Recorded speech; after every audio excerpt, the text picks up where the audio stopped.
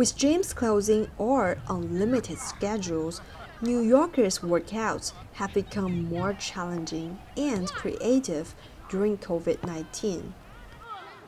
Jared Marling ran a virtual marathon. A GPS tracked his place in the route he chose in New York City and where he would be in the San Francisco Marathon. This was a, a very different experience because it was literally just me um, for the most part running by myself there was there was no cheering and there were no crowds. A frequent runner marling finds it challenging to run with a mask on.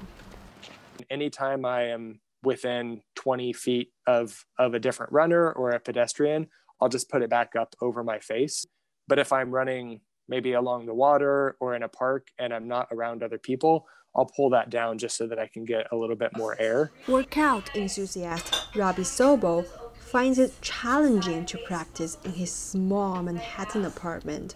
Sometimes he moves furniture or practices in the kitchen. Running outside, running at a track where there are a lot of people is rather concerning in my mind, and so I feel like the safest bet is to stay here in my own apartment and create the space. Neil Kimmett a senior engineering manager at ClassPass, the world's largest studio fitness platform, said they launched live stream classes for the first time during the pandemic. The live stream allows participants to join classes far away from their homes, but it came with challenges. One of the drawbacks with live stream classes um, compared to, to in person is that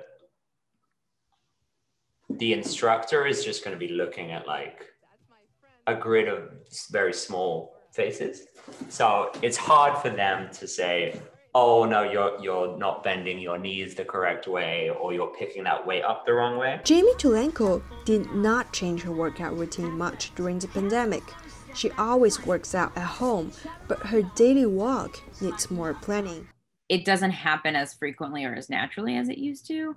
Um, so I have to be a little more intentional about like making time for it. Pallavi Powell finds not going to the gym challenging. The feeling of community her gym provided is lost. I miss going to the gym, I miss the routine, I miss the variability of the machines, the variability of weights that I can use.